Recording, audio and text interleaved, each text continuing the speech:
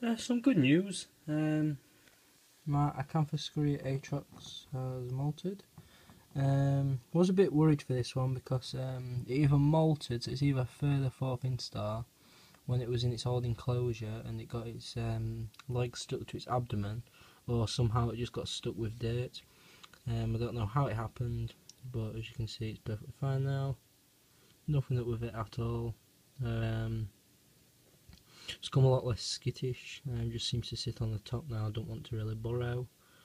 So yeah, a um, bit of good news because I was actually worried about it, but I'm never buying anything this small ever again. Because it was a first instar molting to second instar in transit. So I'm just going to get the molt out and I'm going to give an update on a certain tarantula. Okay, back in a sec. Here is my absolutely gorgeous um, mature male um, species Colombia large.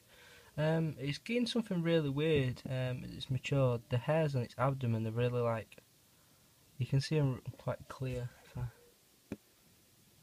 They're like really spiky hairs on the sides of the abdomen. Looks pretty cool. But yeah, he's a mature male. I am reluctant to sell him, so he's actually up for trade. Um, if you're interested, just drop a comment or a message. Um, yeah, he's up for trade.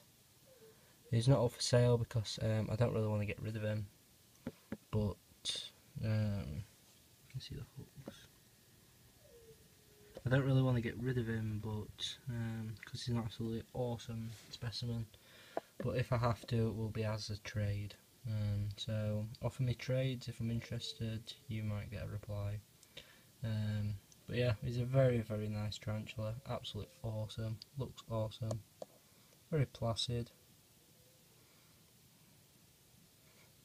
Shaking his abdomen a bit, but he's not he's not aggressive at all. Um, they're a really good dwarf species. Um, can't fault them to be fair. They're not as calm as you like you the Euopus and stuff like that. But they are pretty calm, um, not too too skittish. Um, one of the calmer ones and one of my favourite species. Um, shame is a male, but still, it looks absolutely awesome. This is just webbing up. So yeah, um, I'm going to leave him be to that, that was just a little update. Um, bit of a nice video to say, because I've had quite a few deaths over the past couple of months, so just nice spot, a nice one. Okay, bit people, mm, bye.